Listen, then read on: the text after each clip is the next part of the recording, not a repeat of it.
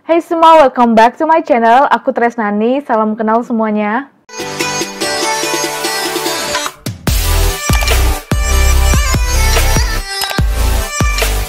Nah, jadi uh, hari ini aku ceritanya abis bikin Instagram story. Uh, intinya kayak aku nanya sama temen-temen uh, ada ide apa untuk aku bahas di YouTube tentang Law of Attraction dan salah satu dari followers aku yang juga nge-subscribe aku di YouTube meminta aku untuk ngebahas musik-musik yang aku pakai ketika aku sedang scripting, visualisasi, meditasi yang works like magic, oke? Okay? Ini menarik banget sih karena aku suka banget ngebahas ini. Aku pernah kepikiran mau ngebahas ini, cuman aku lupa gitu kan. Nah, mumpung aku belum lupa, aku akan ngebahas hari ini. Dan by the way guys, kalau misalkan kalian punya request mau ngebahas apa gitu yang kalian masih bingung, kalian bisa komen di bawah atau DM aku di Instagram. Oke, langsung aja kita ngebahas tentang music. Nah, musik yang pertama yang aku pakai untuk meditasi. Biasanya meditasi terbaik itu adalah di pagi hari ketika kamu baru bangun tidur atau di malam hari ketika kamu mau tidur. Kenapa? Karena frekuensi kamu itu dinamakan theta frekuensi. Pokoknya intinya ketika kamu baru bangun tidur atau di malam hari kamu baru mau tidur, itu kamu sedang di theta frekuensi yang mana kamu itu udah relax.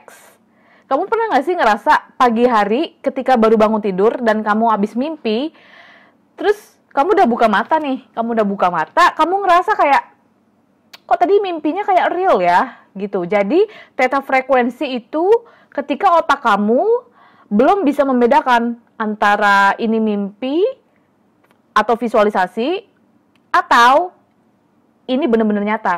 Jadi otak kamu ada di ada di fase itu gitu. That's why sangat powerful ketika kamu melakukan meditasi. Musik yang aku pakai untuk meditasi adalah aku selalu mendengarkan channelnya Master Sri Akarsana. Aku udah ngefollow dia bertahun-tahun dan I really really love his video. Uh, jadi dia punya kayak guide meditation, kalian nggak perlu bingung.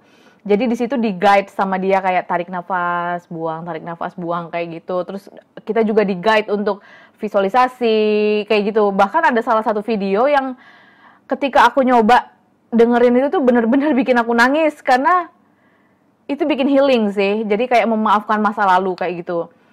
Pokoknya kalian harus coba nonton dan meditasi di channelnya dia. Nah, jadi biasanya setelah aku meditasi, uh, aku akan ngedengerin musik visualisasi nih. Tergantung situasi yang sedang aku alami gitu. Misalkan aku lagi menunggu panggilan kerja gitu atau aku lagi mau menarik gebetan buat ngajak aku jalan atau hanya sekedar kontak aku, ngechat atau segala macam itu musiknya beda-beda, geng.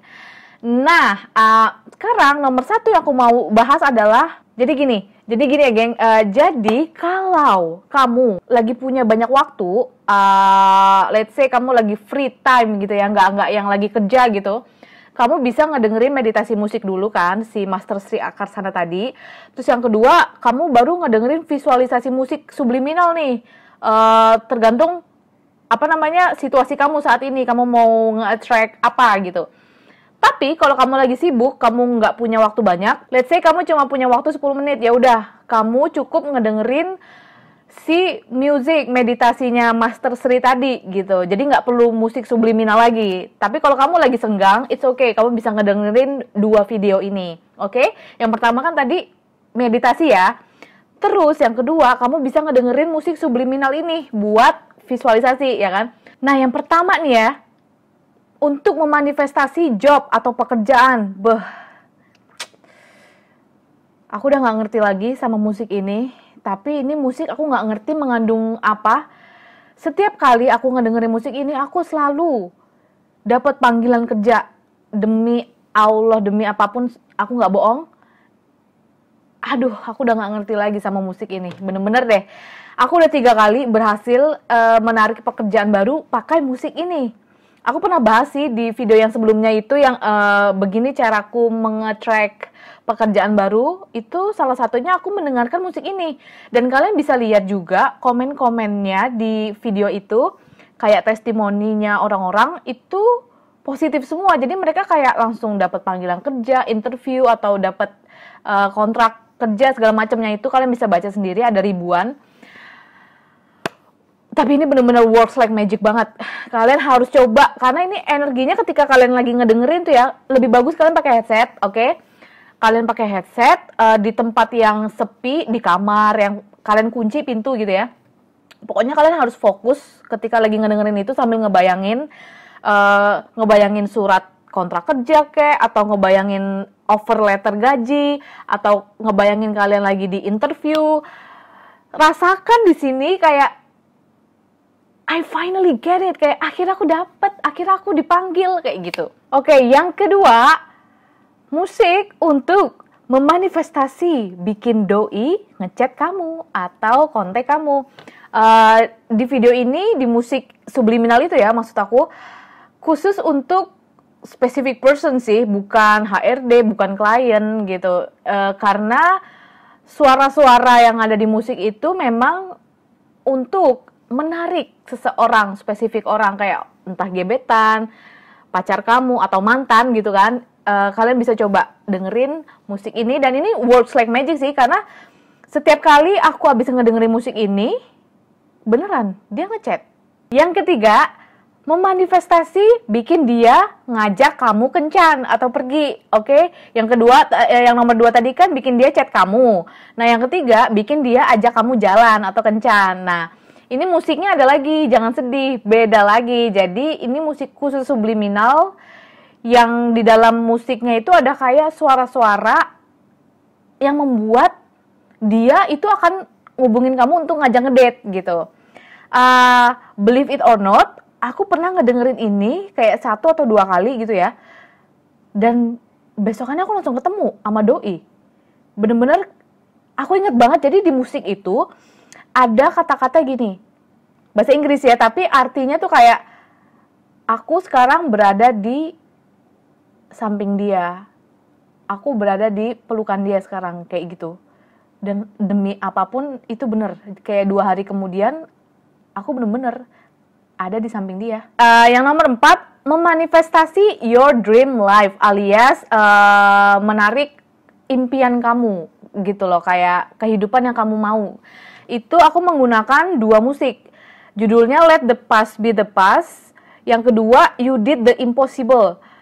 Uh, aku nggak ngerti kenapa ya, tapi dua musik ini tuh bener-bener amazing kayak ketika kamu ngedengerin tuh kamu berasa jadi tokoh utama di sebuah film gitu loh.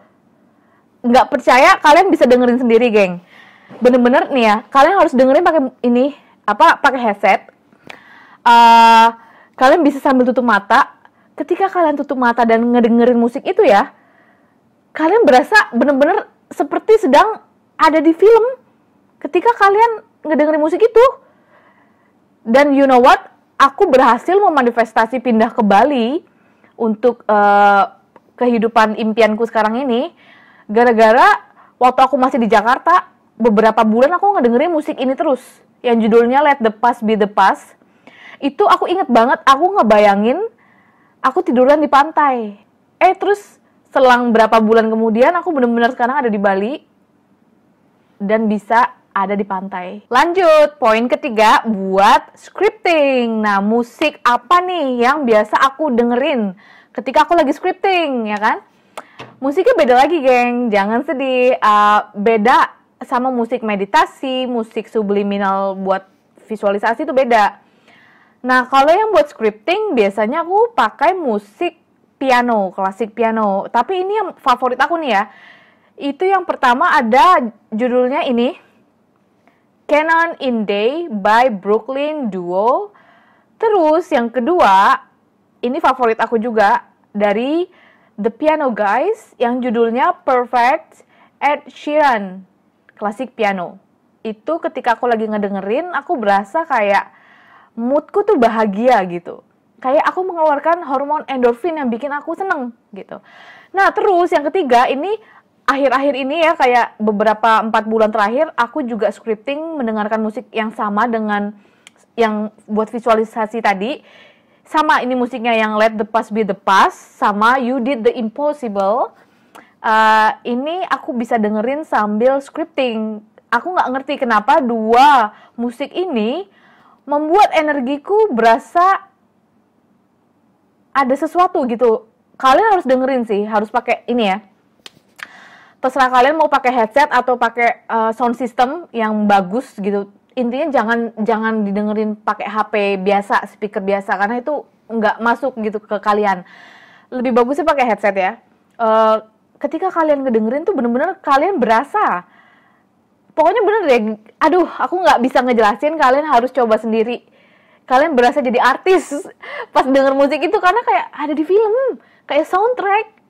Jadi ketika kalian, kalian lagi nulis nih ya kayak akhirnya aku dapat ini, akhirnya aku bisa pergi ke sana. Ya ampun, aku seneng banget sambil ngedengerin lagu itu. Jadi bener-bener ke bawah gitu. Oke, okay, sampai situ dulu pembahasan kita soal musik. Uh, let me know apa yang kalian rasakan setelah mendengar musik-musik itu. Jangan lupa komentar di bawah. Uh, dan ya, semoga bermanfaat. Thank you for watching. Sampai jumpa di video selanjutnya. Bye-bye.